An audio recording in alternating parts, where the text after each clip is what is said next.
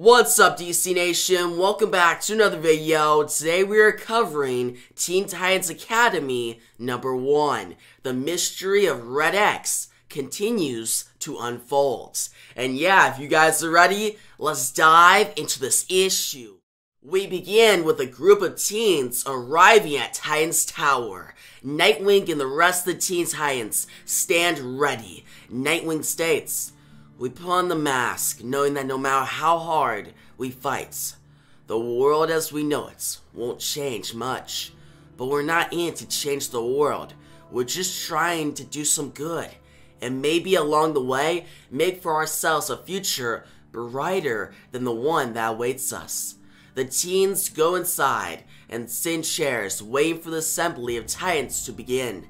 Nightwing says, That's enough out of me. For the official welcome, let's turn things over to the headmistress of the Roy Harper Titans Academy, Miss Starfire. Starfire walks up and promises the inaugural class of the Titans Academy that whether they choose to join the Teen Titans or not, they'll be ready for whatever awaits them on their journey. Starfire welcomes Beast Boy, Cyborg, Donna Troy, Raven, Nightwing all to stand by her side and teach the teens the oath of the Teen Titans. We fast forward later to Nightwing, about to teach the class of teens how to fight in a room called the Fight Simulator. Nightwing calls roll Summer Zahid, Matt Price, Brick Paturoso, Alinta, Tubi, Gorilla Greg, and Stitch. But that's when one last teen shows up late. His name is Dane. He apologizes. Nightwing then tells Dane to join in. Nightwing then gives instructions starting with self-defense. But then the class asks about Red X.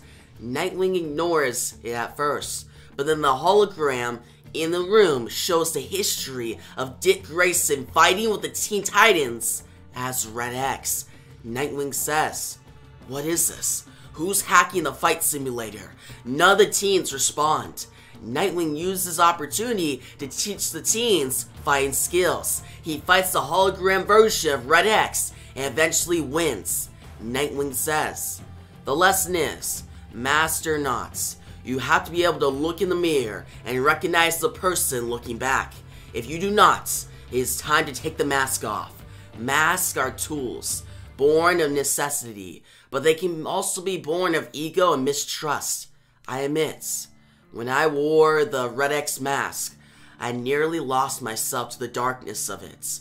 But I had the Titans to pull me back, to bring me back to the lights. That is what a team is for. If you learn nothing else in this academy, learn that. As for Red X, the best thing I can say about him is that he is dead. The teens go to lunch later.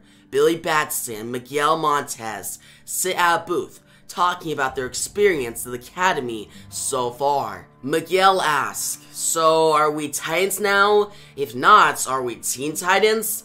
Billy responds, Right now, we're just freshmen. The faculty are the Titans. The upperclassmen who are active, well, they're pretty much like Rooster Teen Titans. Miguel then asks, Okay, and where are they? We ship to Saudi Arabia. The Teen Titans of Crush, Bunker, Roundhouse, Jakeem Thunder, and Red Arrow, and Kid Flash fight off against the Clock King. The Titans at the tower monitor this team. They guide the heroes to success. Starfire, Beast Boy, Nightwing, Cyborg, they all watch this mission go down. Starfire reminds Kid Flash and the team to make it back in time for the party. Raven is relieved that the Teen Titans are doing good. The new batch of teens gets her worried though. We shift to one of the new teens, Brick, fighting hologram Red X in the fighting simulator. Brick blasts and takes down the Red X. Donna walks in saying, Wow, impressive. Donna wants to teach for real now. Donna and Brick prepare to fight. Donna tells him to set his feet right. They're about to fight, and Donna is here to teach him some lessons. Now, we go to another one of the new teens, Tubi. Roundhouse welcomes Tubi to his room, and they go down to party. Nightwing talks to the Titans about Red X, and how he suddenly just showed up as a hologram in the fighting simulator. He doesn't know what to think about it. Now, at the end of the party, Nightwing calls attention to himself and pulls out the Red X mask. He says, It's almost lights out, so I just want to thank you all for a great first day at the Academy, and also for the surprise party and the gifts, especially this one from Anonymous. Nightwing holds up the Red X mask even higher. He continues, Whoever you are, I'm not sure how you found it, but I'm glad you gave it to me today because it's a perfect reminder of what we hope to achieve at the Harper Academy. We all wear this emblem because it stands for something. This whole tower stands for it. Tenacity, teamwork, trust.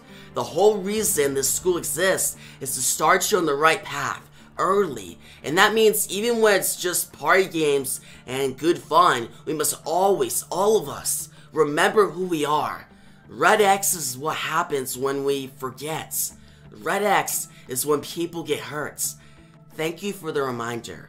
Alright, lesson's over. I gotta get to the fight sim. Unless it's gonna be a pinata, cause I'll drop everything for a pinata.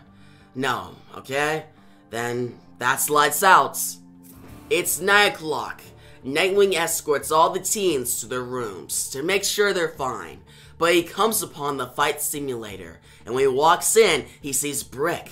And Nightwing says, Brick, it's lights out, are you? But then Brick takes off running. Starfire shows up. Nightwing is confused. He says to Starfire, Did you see him at the party? Starfire responds, I do not believe so, but attendance was not required. Why? Nightwing then looks back at the fight simulator saying, I'm sure it's nothing.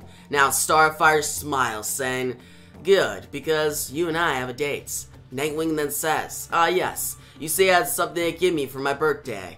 Starfire smiles even more. Did you bring the mask? And Nightwing puts out his hand, saying, You know what? I think I put it down somewhere in the lounge. Should I go look? Starfire then gets close, saying, I think we can do without it. Now Nightwing says, yeah. Starfire says, yeah. They get very close. They're sharing a very intimate moment. Now, in the lounge, a teen picks up the Red X mask, and he puts it on, and he hits one of the mirrors in the room. And you see in the reflection, this teen, now with the Red X mask, is he losing himself? Is he going into the darkness? What will this Red X do to the team? What will it do to this person? We don't know who he is yet, but could it cause problems for the new Titans Academy? Well, we'll find out next time as this issue concludes. And that was the first issue of Titans Academy. And I thought it was a solid first issue. I liked it. Now, it was a little slow at times, but it started to build up toward the end. Because this was really a setup issue. Because this issue was written by Tim Sheridan, and what Tim Sheridan really focuses on is the Red X mask. And I like that, because that's the most intriguing thing out of this whole entire story right now. Because yes, is a cool idea to have these new teens show up, and Nightwing, Starfire, and the other Titans hold this whole class, this whole academy to teach these new Titans and to get them into being heroes. That's nice and all, but that's not really the catch. That's not gonna really give me a stick around. At least for me. But, when you add in Red X and you have Nightwing get surprised by Red X in the fight simulator, and then we find out that one of the teens brought the Red X mask out of nowhere, and Nightwing tried to use this Red X mask to teach a lesson, but we know that means something darker, because at the end, you see another teen now has it on. Now we don't know who has it on, that mystery it still needs to like unfold, but for now, it really adds some tension and gets me excited to see where the story goes. So yeah, a lot set up in this issue, but the Red X mask and the whole idea of Red X really pushed it forward and kept the momentum. Now, the artwork by Rafa Sandoval, you already know, his artwork is amazing, guys. How he draws the Teen Titans, the facial expressions, and especially that one double page spread of like the, you could say the Rooster Teen Titans, so like Kid Flash, Crush, Red Arrow, Roundhouse, and Bunker looked really dope. And yeah, I really like the artwork. Now, there's one more thing I want to note. I really like the touch that it's called the Roy Harper Academy because yes, he's not dead anymore. If you've read Infinite Frontier, or actually I'll link down below in the description a video that I did on it. But Roy Harper is back from the dead and he's gonna be traveling through the cosmos or doing something, right? He's gonna be involved in Infinite Frontier. So he's doing some bigger things. But for now, the Teen Titans still think that he's dead and to see that they honor his memory by making an academy off his name is really cool. I like that. Now, I'm overall going to give this issue an 8 out of 10. It's a solid start. If you're not really interested in the Teen Titans, or not interested in this concept, at least give it a try. Because I'm pretty sure everyone is going to think the Red X stuff is very interesting. And if you don't, then don't really pick it up or continue it. But I think this series should catch people and should get Teen Titans fans excited. But yeah, you guys tell me your thoughts on this issue down below. What would you rate from 1 to 10? If you like the video, give a big thumbs up. If you're new to the channel, make sure to subscribe and hit that notification bell so you don't miss out on my next Teen Titans Academy video. And yeah, thanks for watching and peace out.